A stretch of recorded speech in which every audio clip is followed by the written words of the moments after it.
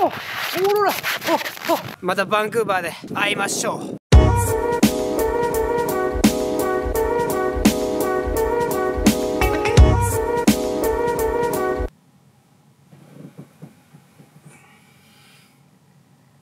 わさめばい。あーいやずっと車中泊やったから気持ちええな。ベッドで寝るのは。つうことで今日は昨日のリベンジ。いや今日はねオーロラを見るラストチャンスってことでもう気合しかバリバリバリバリバリ気合が入っちゃうんやけどもうあとはね天候次第。俺がどれだけ祈ってもねもうこればっかりはもう天候次第やからもうどうなるかわからん。でもねせっかくここまで来たからもう見たいという気持ちでいっぱいなんやけど今日はね昨日よりもちょっと若干実はね天気が悪いんじゃねえかなと。まあ正直ね今もう星も見えてない。昨日よりもね雲がかかっちゃう感じ。もうわかるかなこれ。曇りがかっちゃう感じが、まあ、そんな感じやけども今日もねまあ34時間は粘って最後の最後までどうなるかっていうのをねちょっと自分の目で見て、えー測りたいなと思いますよ。はーい今日もねポイント来たよ。もうね正直これもう見飽きるよな。え映えさせたいんやけど無理やわ。もう周り暗いし何もないし。何もないとこやからこっち映してもしょうがないんやけどここでね俺ら見えるかどうかっていうのをちょっと粘ろうかなと。寒いけどはい11時とまた気合入れて見るぞ。ーうわ三脚立てれた。あんまりね長くカメラ外に置けないんよね寒すぎて。今ね見始めて1時間0時ってことで。いや今日はねちょっと天気悪いかも。ちょっとねいつも自信満々の俺もさすがに今日はねちょっと、えー自信がないというか大丈夫かなっていう感じ。なんか俺だけ映すとねすっげえ暗く見えるんやけどあのね月がねものすっごい明るいんよね。なんか俺らが見える条件っていくつかあってやっぱりまずはもう晴天であること。雲が一つもないこと。それから、まあ、月の明かりとか街の明かりとかそういうのが一切ないこと。まあそういうのが基本的にあるんやけどちょっと月がねやっぱ思ったよりも明るいし今日はね月がちょっとね雲でこう曇りかかっちゃうみたいな。昨日はね結構晴れちゃった感じなんやけど。まあ今日もねでも同じようにね多分カメラでもわかるけど全然風はないよね。だから寒さ的には全然これだけ厚着しょったらまあなんとかなるかなっていう感じやな。もう昨日と同じみたいなこの解説動画みたいなもう面白くないよね。っていうかねまつげがすごい凍っちゃうんかなこれ。ちょっと面白くないと思うけどね。必ずちょっともう見せれるように頑張りたいよね。なんかねなんか俺が頑張ればなんか見えるんやったらいくらでも頑張るんやけどな。もうそういうなんかねこう自然のなんか自分の頑張りだけじゃどうにもならんっていうのがね。まあこのオーロラをがやっぱ世界中の人を引きつける魅力でもありやっぱ自然の難しさっていうところでもあるよね。くー待つしかないな。ダメやな。むちゃむちゃ。曇っとるんよね。わからんと思うけど。むっちゃ曇っとるわ。あオーロラああオーロラとかやりたいな。ごめん嘘なんやけどさ。全然見える気配がない。今ね今ちょっと1時1時1分つうことで。まあゴールデンタイムあとまた2時間っちゅう感じやね。また昨日と同じように。ここは凍るんよね。足とか手とかねちゃんとガードすれば大丈夫なんよもう中は10倍ぐらい来ちゃうから。うえー。うえ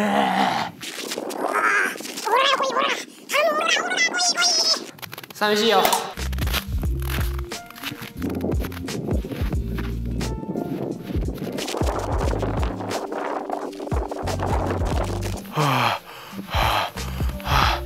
なかなか。厳しい。2時2時あと1時間。これより凍ってきたねここ。ほら。こ氷は鼻水が。あかん。あーダメや。ダメや。寒い。もう寒い。あー寒い。寒いわ。はあ忍耐力やな。忍耐力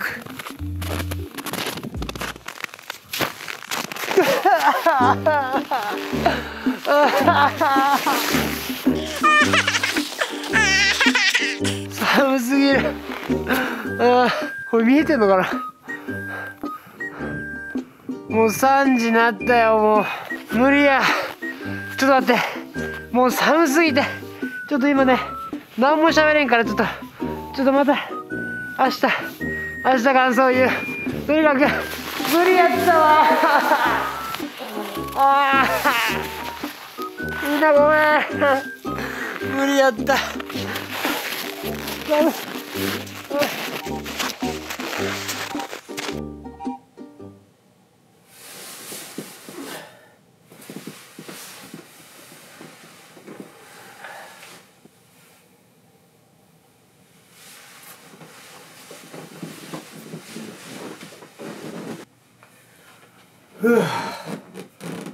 おはよう。いやー、昨日のことはね、まあオーロラ見れんかったわ。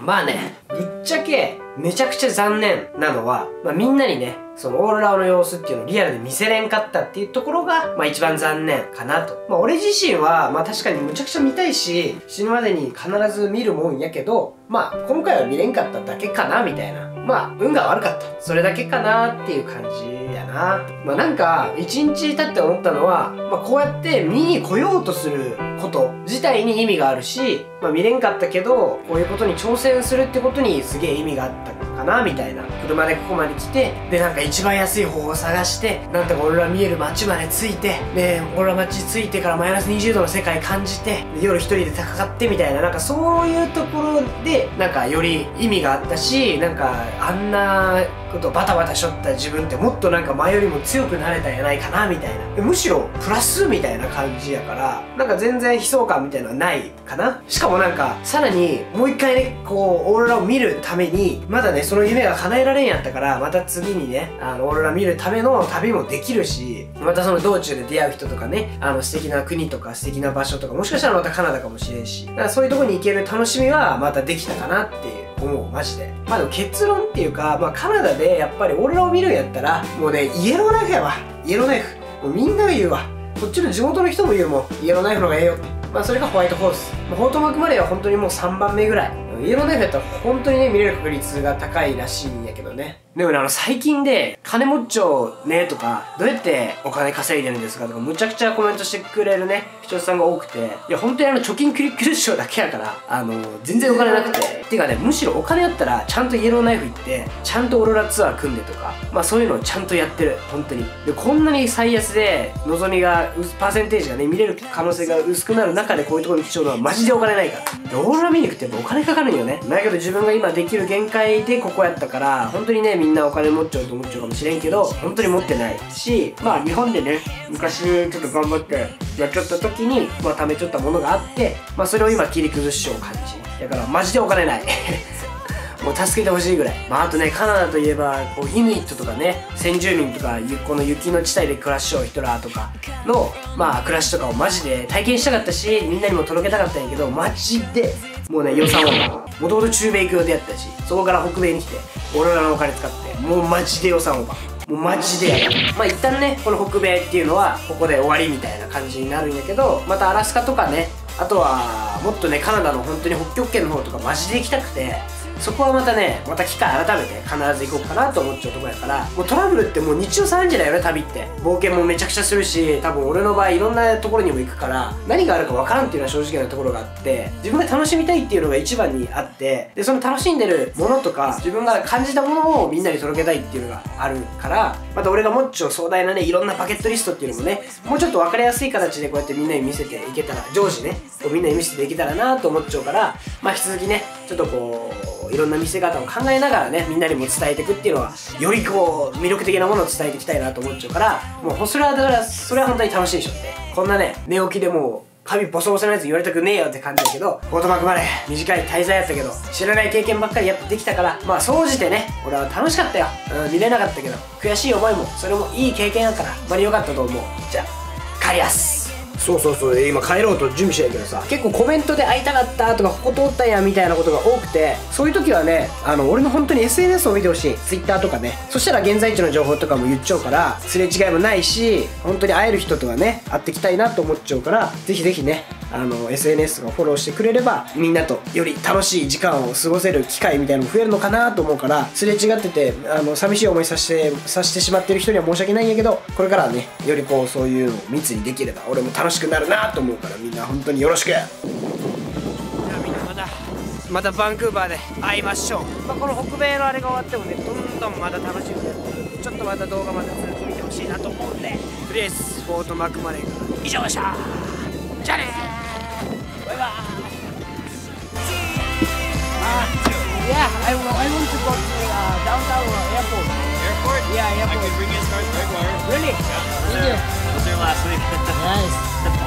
nice.